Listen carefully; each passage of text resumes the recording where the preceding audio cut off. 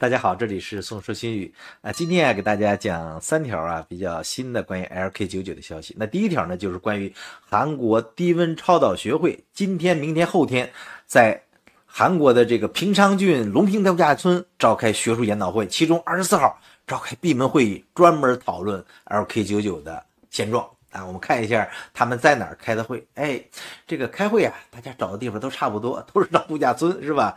那这次会议啊。是呃韩国低温超导学会的夏季会议啊，那么这个韩国低温超导学会啊，它是一个民间组织啊，那当然了，它是可以说对于这个超导啊低温这个行业来说呢，是有相当的这个呃呃这个指标意义的啊，就是很多的这个。企业呀，研究人员啊，都会参加这个会议。像这次会议呢，包括这个理论呐、物理性能啊、电子器件、材料以及应用器件、低功耗材料，都要举行这个会议和交流啊。应该说，会议议程还是比较紧的。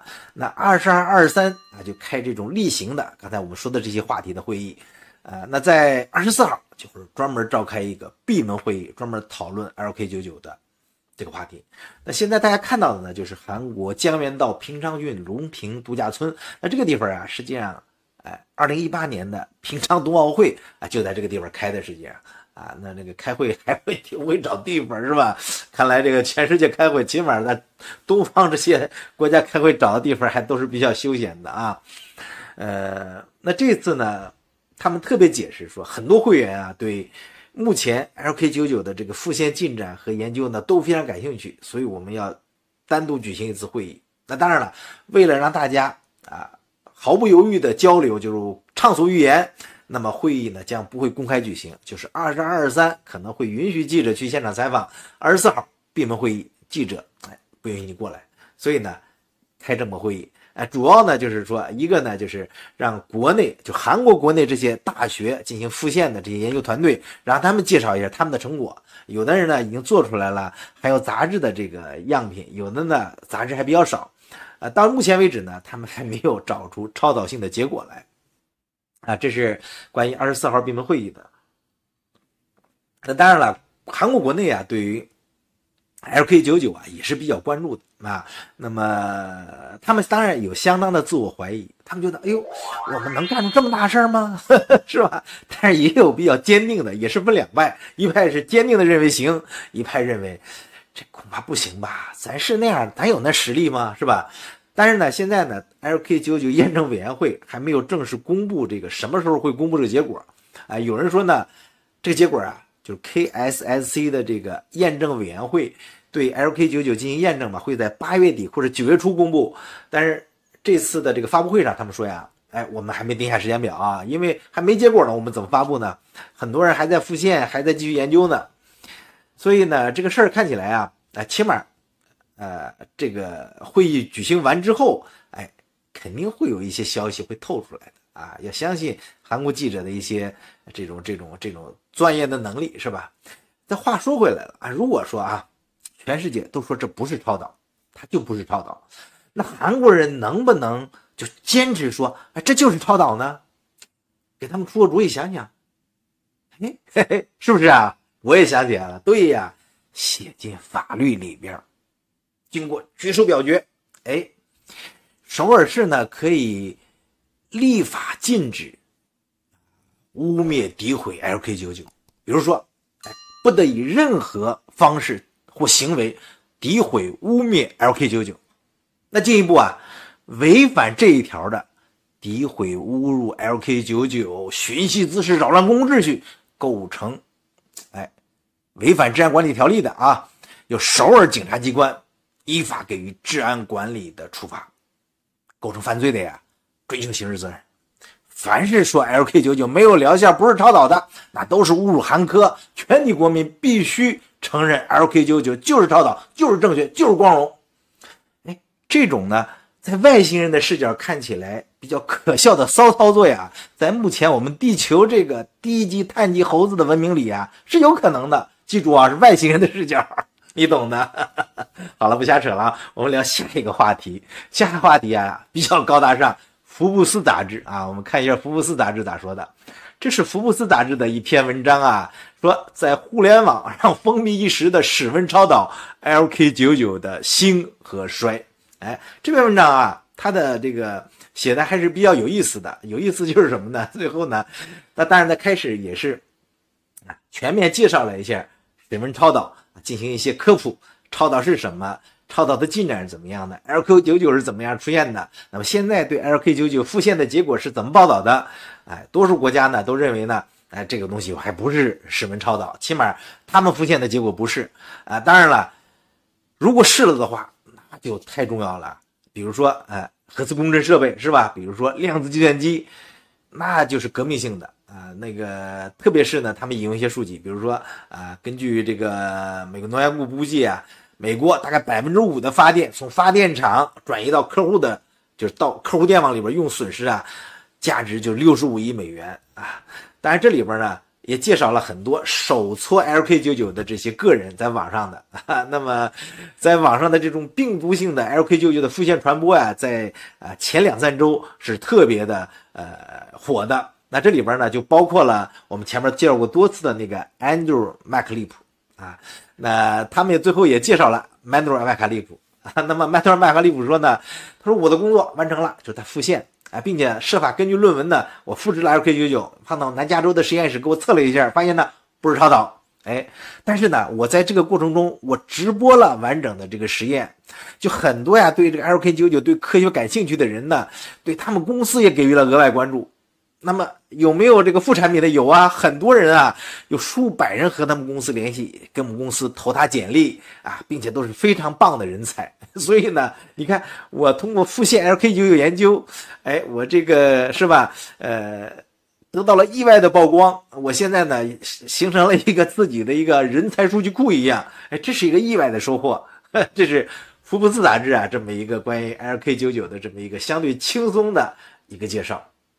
那再介绍呢，我们就说一个比较比较严肃的一个比较正式的啊，比较郑重的这个报道什么呢？就是这家公司叫 Facecraft，是一家英国的应该是量子计算机的研究公司。那这家公司啊，呃非常厉害，他们用量子计算机来研究 LK99。这是这个公司介绍啊，也是翻译过来了。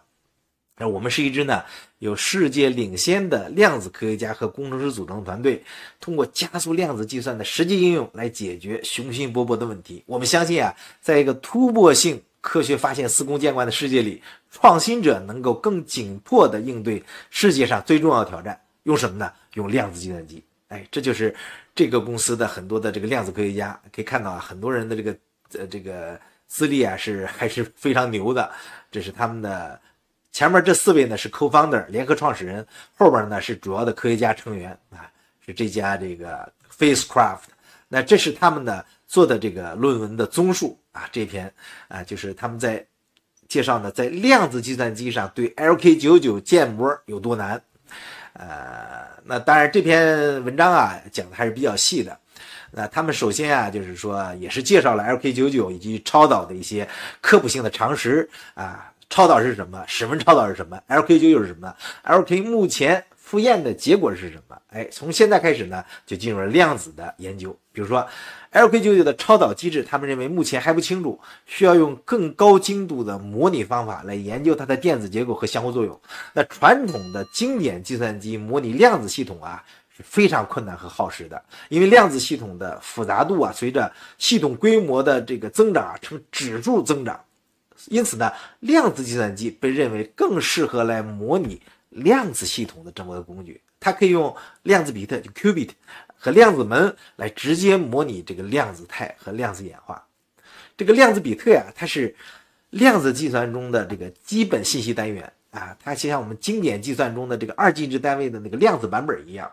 那 qubit 呢，可以用任何具有两种状态的量子系统来实现。比如说电子的自旋，哎。光子的偏振，原子的能级，那 qubit 呢？与经典位的不同之处在于呢，量子比特可以处于两种状态的这个叠加态，哎，它既可以既不是零也不是一，哎，它可以是和零和一的某种的这种哎叠加态概率组合，这就使得这个 qubit 呢可以同时进行多个计算，哎，从而提高啊量子计算的效率和能力。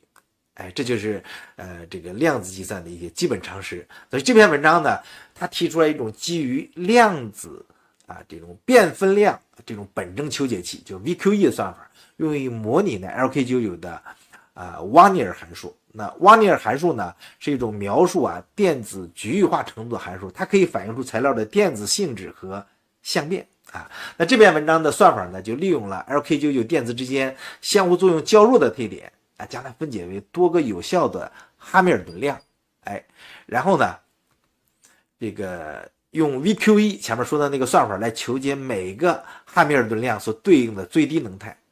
这个 VQE 呢，就是一种。混合量子经典算法，它利用量子计算机和经典计算机，就是传统计算机各自的优势，通过迭代优化来寻找最佳的这种参数化的量子态。所以这篇文章啊，嗯，它估计了在不同类型规模的量子硬件上运行这个算法所需的资源啊，包括量子比特数量、门操作的次数以及运行时间啊。结果呢，表明呢，在目前可用的超导量子计算机上。这个算法可以模拟 LK99 中最简单的一个有效的汉密尔顿量。如果要模拟更复杂的汉密尔顿量呢，或者更大规模的系统，就需要更多的量子比特或者更低的这个错误率。所以这篇文章最后还讨论了如何改进这个算法的性能和精度，包括呢使用更高效的这种参数化电路、更优化的这个优化器啊、更精确的这个误差矫正的方法。啊，最后呢，这个文章还探讨了如何用这个算法来研究 LK99 这些材料的其他的物理化学性质，比如说相图啊、磁化力啊、生子谱等等。呃，这篇文章啊，应该说是第一篇揭示了如何用量子计算机来模拟 LK99 这种新型的声称的超导材料，并为将来啊这个材料的更深入的研究啊提供全面的支持。啊，那当然，他们用的软件里边呢，也有他们公司的叫 Margaret 的这个一个量子软件工具，就是这个 Phasecraft 公司开发的，它可以用于啊模拟啊材料在量子计算机上的编码和编译啊，呃，另外呢，可以帮助这个研究者啊和开发者更高效的利用量子计算机来探索这个材料的物理和啊这个其他性能。啊，这就是呃第一篇在量子计算机上对 LK99 进行研究的这么一个介绍和报道。这家公司叫 Facecraft 啊，很牛逼的。我看他们的这几个 co-founder 联合创始人的经历啊，我都看了啊，都是在量子计算啊或者是 AI 领域啊都是比较领先的顶尖的这个专家。哎，这就是啊，我们今天啊收集到的三条比较新的关于 LK99 的消息啊，既有韩国的，也有韩国之外的呃。那么这里边呢，当然了，大家还在等待什么呢？第一个，哎，LK99 团队他们能不能发出一篇正规的论文来？第二个，KSSC 就刚才我们说的韩国低温超导学会，在开完闭门会议之后，我们要相信神通广大的记者呀，肯定会挖出一点消息来。到时候我们看看是往 LK99 的这个棺材板上再钉一颗钉子呢，还是又突然又啊又有了个新的发现？好吧，今天啊关于 LK99 的话题来聊到这儿，谢谢大家收看。如果您喜欢我们的节目的话呢，请您关注、点赞、留言和转发啊！特别喜希望那些啊在这个专业领域有研究的朋友呢多留言啊，指出我们的错误。咱们下次再见，拜拜。